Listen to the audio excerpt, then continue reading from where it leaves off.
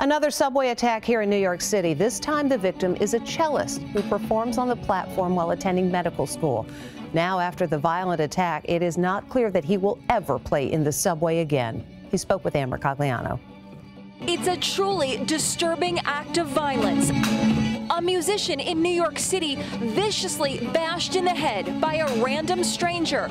The woman lurks behind him, moves in, then picks up the cellist's metal water bottle and whacks him. In the middle of one of the songs that I was doing, I just felt this, this impact, this terrible crashing pain along the back of my head.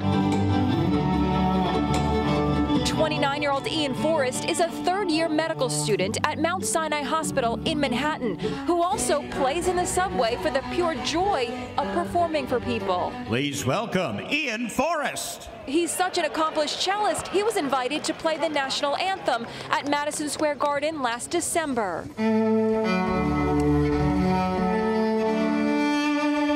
Just happened to him is leading to outrage across the city. It does, you know, anger you that just in the subway station, you're doing your own thing, that that could all be broken in a quick moment with an act of violence and hatred. Ian Forrest was playing his cello right here in the Herald Square subway stop, a popular place for street musicians to play.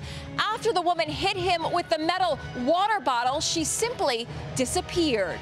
This isn't the first time he's been attacked. Last June, he was punched and choked while playing in Times Square. At the end of a performance, uh, this man came over and tried to steal my cello, my donations, and then proceeded to punch me repeatedly in the face, put me in a chokehold. You may never play again in the subway. You may never go back. It definitely gives me pause to want to say, do I want to go back and do this again and put myself out there in harm's way?